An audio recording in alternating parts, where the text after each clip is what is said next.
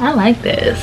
Hey, it's Rox. I'm here with another video. As you can see, it's wash day and I don't want to do the regular um, you know, straighten like I always do, like you've seen in previous videos. I'm gonna link it. Um, today we're gonna do some butterfly locs. I'm using the Nala Tress and these are crochet locs. This is my first time doing this, so you guys are gonna be on this journey with me. So let's see how it turns out. Keep watching the Janet collection and this is a color 1B. I bought the value pack which comes uh, 10 inches, 12 inches, and 14 inches. So this is how it looks. It has like the hook here and then it's already the lock. So I really don't even have to do anything. There we go, my Shine n' Jam. Some argan hair oil. All right, y'all, so I had to come offline and braid everything down. So this is how they look.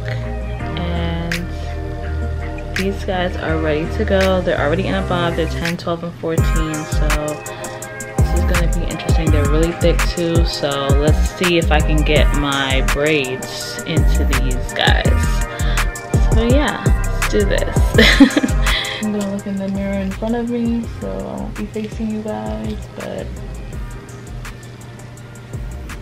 Hook it in here. Pull it through. And then I'm going to put both the braid and the crochet. So let me do one this first because this is the more difficult one. So pull this through and then pull my braid through. Okay see the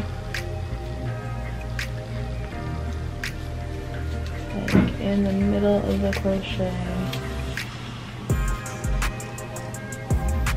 mm, we could get it from end, that's fine. This is a little one, so this should be a lot easier than the ones that I've done previously.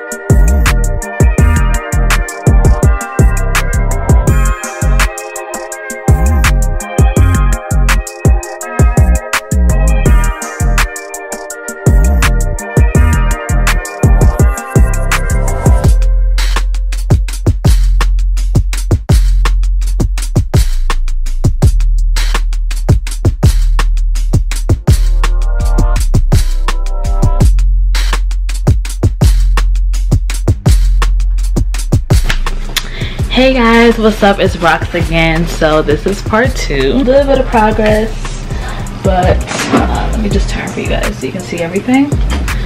Uh, so my hair is a little bit longer than these. So these are 14 12 and 10 inches so I can get like a little bob. Um, but it looks like I'm unable to go any shorter than this. So what I'm gonna do is what I'm doing is folding the braid inside the crochet. So I'm gonna do a few so you guys can see. So if you buy crochet hair or locks that are too short for your natural hair this is the method that I use um, when I'm doing my hair well that I had to use so. Uh, keep watching and make sure you guys subscribe click the link down below and I'm gonna be um, putting links in for all of the shirts I'm wearing. This is from my girl KG the other one was from Melanin Money. Um, so if you want these shirts um, I'm gonna put the links down below so you can purchase those things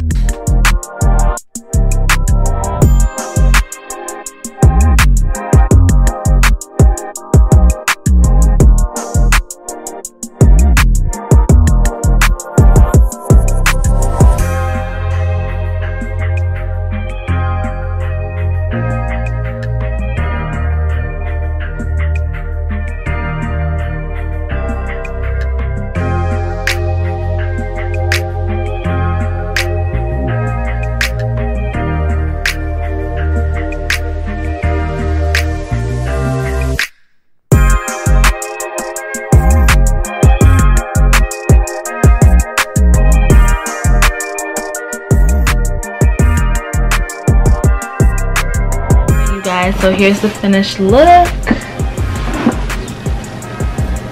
So this took me from start to finish it took me a little bit longer than I expected.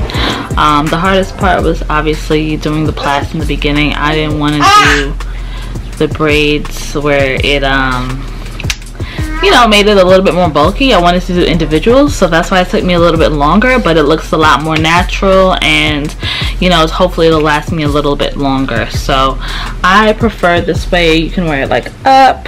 Um, I have that you can wear it down at least. Let me take this out so I can show you. But I was able to I'm able to kind of do it a little bit more styles and like I have a little bit more free range with the, um, the individuals and yeah I just like it. It's nice and light. Um, I actually used that three pack that I had. I used all but two that I actually chopped up when I was trying to figure out how to do it. So it's I got lucky. It's medium all around the board. Um, I really like the style. If you guys enjoyed this video and this tutorial I know it was a struggle for both of us but hit that like that subscribe. Let me know what you thought of the video. See ya Bro.